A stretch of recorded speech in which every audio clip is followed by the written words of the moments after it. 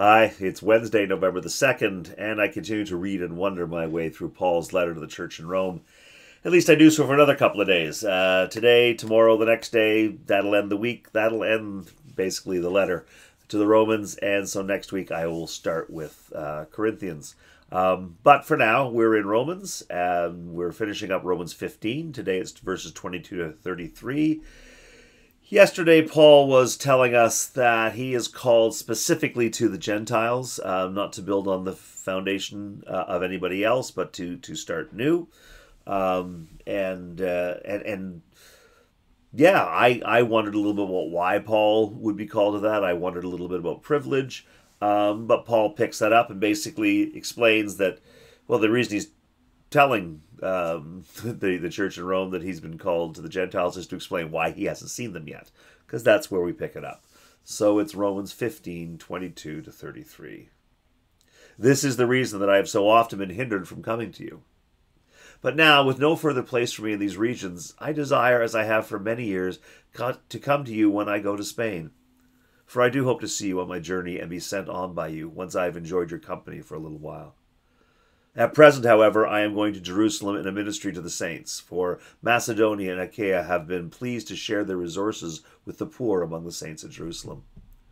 They were pleased to do this, and indeed they owe it to them, for for if the Gentiles have come to share in their spiritual blessings, they ought also to be of service to them in material things.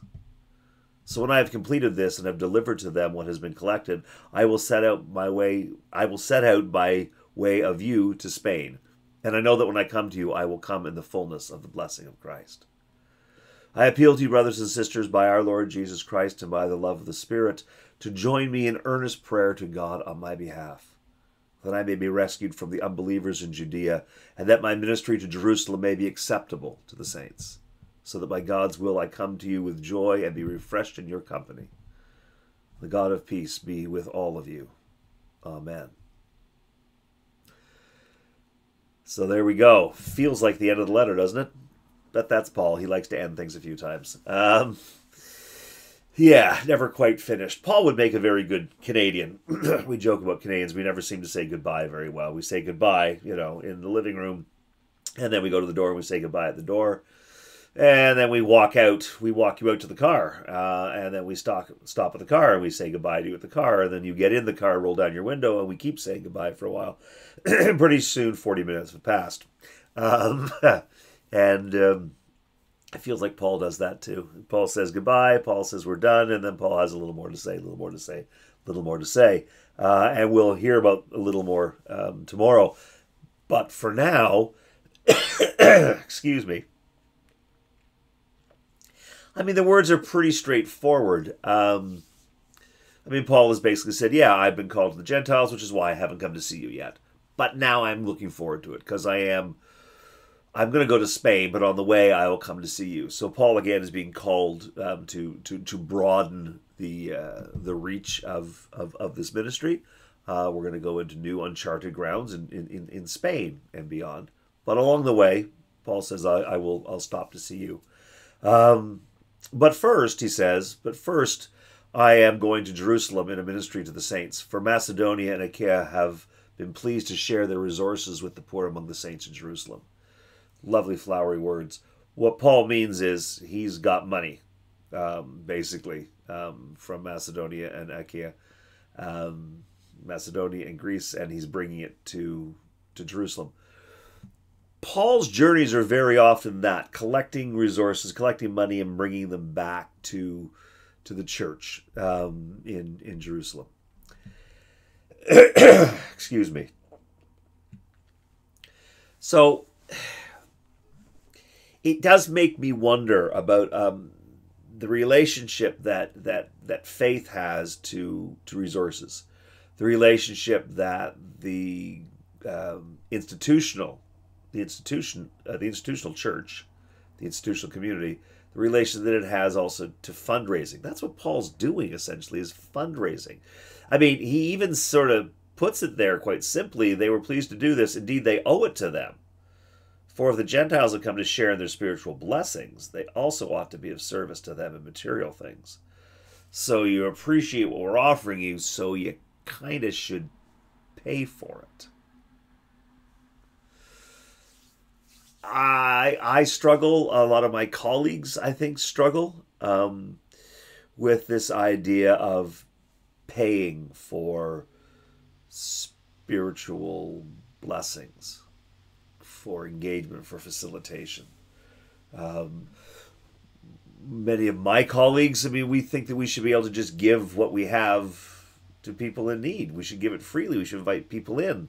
Um, but there's a couple of things that, that we have to struggle with, and that is, you know, um, maintaining our institution in a safe place, in a safe way. So if we have a church building, it is a fair expectation for people coming into it that they will be safe, right? That the building will be in good repair.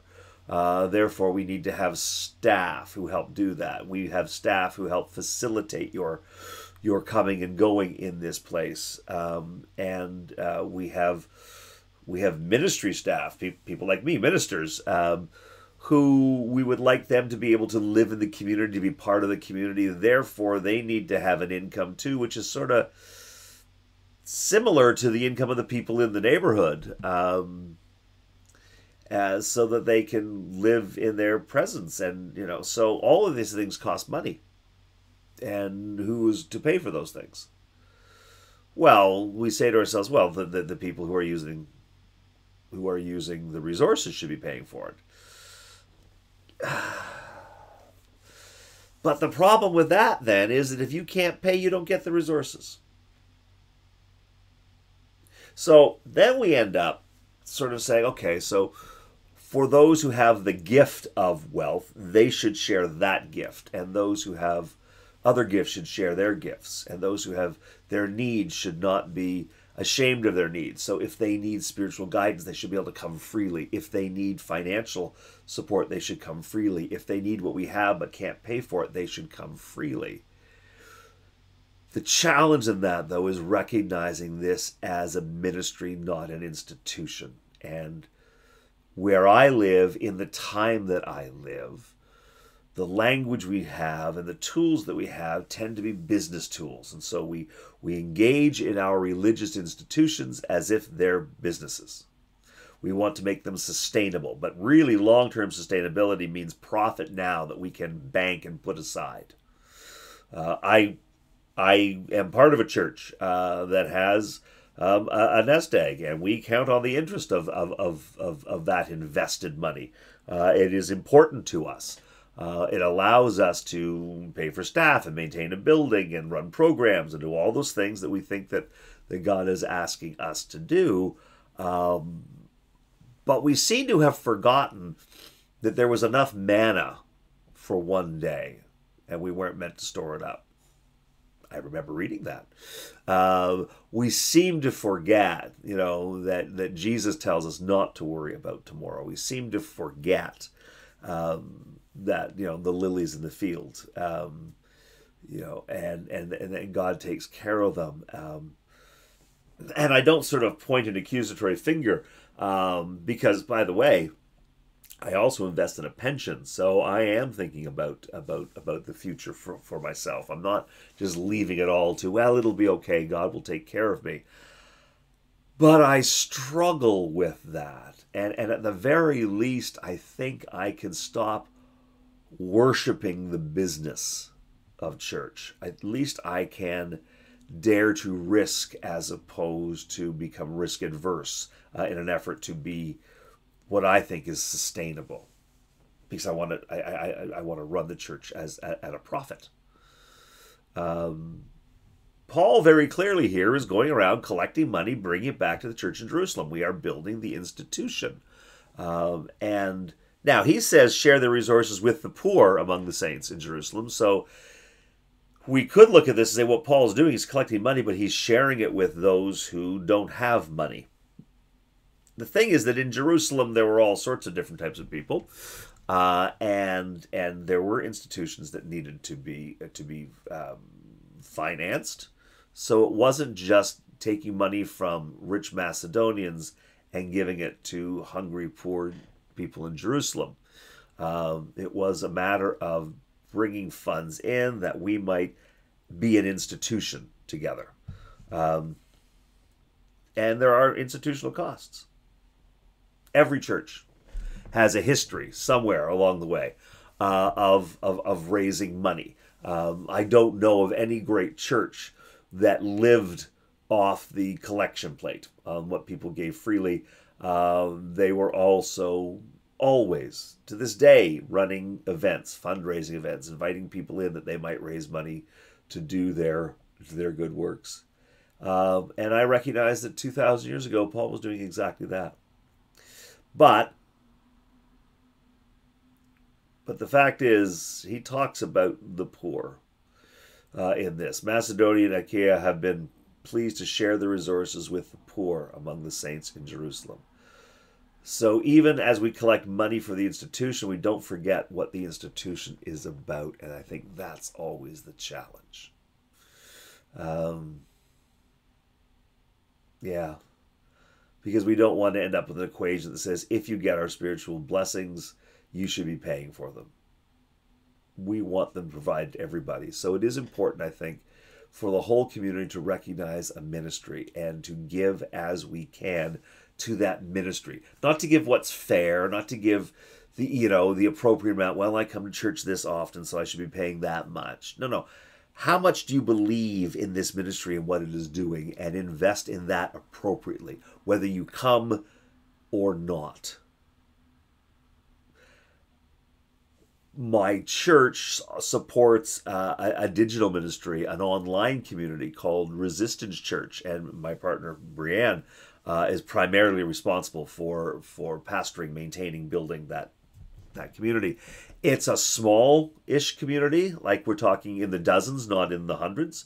Um, but it is largely of people who have who have um, been betrayed by church or have been hurt by church or who are so churched up themselves that they don't have time. So there are, in fact, there are some um, uh, clergy type who are who are part of this part of this group. And there are times that there are people in my community uh, who like to gather in person when they can and like the digital stuff that we do, but aren't part of Resistance Church because that name just I don't know. Uh, and they'll go like, so are we getting our money back? on this? Are we making money from this? They'll they'll wonder, and and you have and, and I have to remind them that we have a ministry to people who have a spiritual need, and it's not about whether or not they can pay for it. It's the fact that they have a need and we can help meet it. This is a ministry God calls us to. Uh, we don't sit at somebody's deathbed and sort of calculate, well, I don't know how much money they've given to the church in the past. I'm not sure how long I'm supposed to stay here. How how how many prayers should I offer if they if they gave five thousand dollars last year? How many prayers should I offer if they if they gave five dollars last year? Is, is it supposed to be different? And when I share that with people, they go, "Oh, of course not. No, it shouldn't be. No, you you should be praying for them." Well, that's because as a community, we recognize we have a ministry together, right?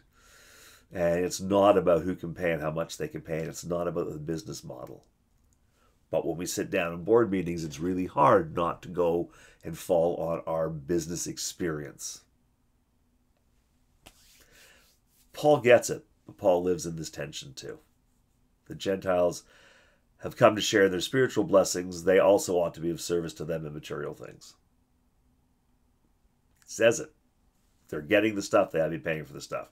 But he also says, in the sentence that preceded that, that they are pleased to share the resources with the poor among the saints in Jerusalem. We live in that tension. Anyway, maybe that's just that's a thing for me. Maybe that's just a um, a wondering that, that, that it's very very specific to to clergy or or to me. Um, as I go through the passage, a couple other things sort of leap out at me. Uh, I like that Paul says, "Join me in earnest prayer to God on my behalf." Um, He's asking them to pray for him. And I find these days, these are words that we use easily. People say, you know, reverently, please pray for me. Normally, please pray for me. Uh, and we'll sometimes say to people, oh, please pray for me.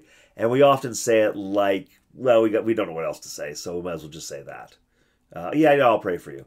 Um, I now try to be very conscious about that when I say that I'm going to pray for somebody, I actually write their name down so I don't forget, and I and I pray for them. Sometimes I pray for them in the moment, but sometimes I pray for them as part of sort of my prayer discipline. Um, when I sit and talk with God. Um, I will I will bring up their names and I will bring them to God because I think prayer matters. And I know that Paul thinks prayer matters because he's asking them to do it for him.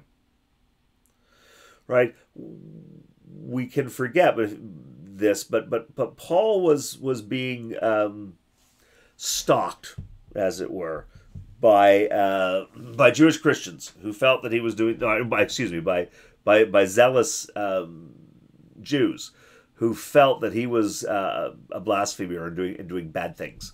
Uh, and even if Paul went to a community where he was well accepted, they would often tag along, show up the next day, and do some rabble rousing and turn the crowd against Paul, making it difficult for Paul.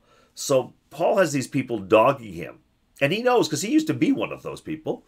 Um, and and and so he's asking for prayer. So this is this is hard for him, and so he's asking people to pray um, to make it better for him, so that he can do his ministry. So Paul believes in prayer, and and I I like that. It it it it, it reminds me of the importance of prayer. I read, you know, I read Jacob. Uh, I, I, mean, I read through the Hebrew scriptures. I read about Jacob. I read about Esau. I, I don't know how much prayer matters to them. I read Noah. I don't know how much prayer matters to them. Um, but I read this, and Paul says, "Yeah, please, please pray for me, and uh, join me in earnest prayers to God on my behalf. Please pray for me." I was talking with a couple of people the other day uh, about about praying for for our enemies. Um, and and Jesus asks us to do that and, and, and how we we're supposed to do that. And I as we were talking, I remembered a couple of times when I have been at loggerheads with with uh, with a with a Christian who has a, a very different perspective. Um, I mean, I think that they're completely wrong, and they think that I'm completely wrong. Um, and so, you know, sometimes you'll say, "Yeah, well, you know what? I'll pray for you," which basically means I think that you're ignorant and I will pray that you get smart one day. And that really just adds to the tension and you know it's it's less it's a it's like slamming the door. I'll pray for you. But there are a couple of times when I have been in disagreement and I have I have said to the other person sincerely, I will pray for you and I hope that you will please pray for me. And what I have meant is I I I hope that that we will hold each other up before God. That we'll hold each other up in love, even if we can't disagree on, our, even if we can't can't agree on our theology, even if we can't agree on our on the application of our theology, which is the way we live our faith. Um, but I, I, I sincerely will pray for that person and hope that they pray for me. So it's not that I'm hoping that they become like me, uh, it's I'm hoping that we will find that place where where God brings us together. Um, I believe in in prayer. Uh, I just don't always act like I believe in prayer, and uh, yeah, Paul Paul's one of the people who reminds me that it's important to pray. And so when I'm really at loggerheads with somebody, I will pray for them, not not that they will wise up and be as smart as me. But I will pray for them that I might better understand them, that we might better understand each other, and that we might recognize each other as children of of God. Um, yeah.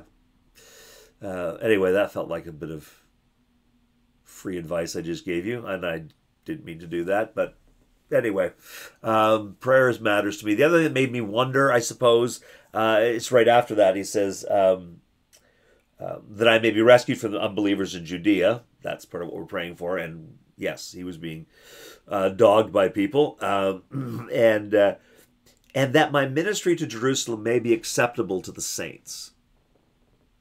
So Paul is praying that the church in Jerusalem, which is sort of the the mother church, as it were, um, that it appreciate his ministry, that my ministry in Jerusalem to Jerusalem may be acceptable to the saints. The saints are the people of the church. I don't know how many uh, I honestly don't know how, how many of my colleagues pray that their congregation, that their ministry will be acceptable to their congregations. I like to think that lots of us do, but there are days that I suspect that few of us do. Uh, I often listen to colleagues who um, who feel that oh my gosh they have to put up another another day with with with a congregation that are slow to understand.